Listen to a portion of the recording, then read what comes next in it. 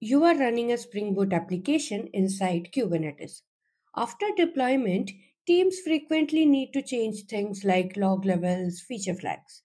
Rebuilding the container image every time is slow and not acceptable. How will you configure it? First, we create a config map that contains an application.property files. This file holds all runtime settings required by the Spring Boot application, and you can change any values needed as per project requirement. At this stage, the configuration only exists in Kubernetes and is not yet used by the application. Next, we mount the config map into the application pod as a volume. Kubernetes converts the config map data into a real file and makes it available inside the container. So the file is mounted under slash config slash application dot properties, and at any point we can make the changes and just restart the pod.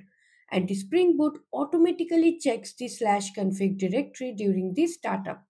Because the configuration file is mounted there, the application reads the new values from the config map without rebuilding the image.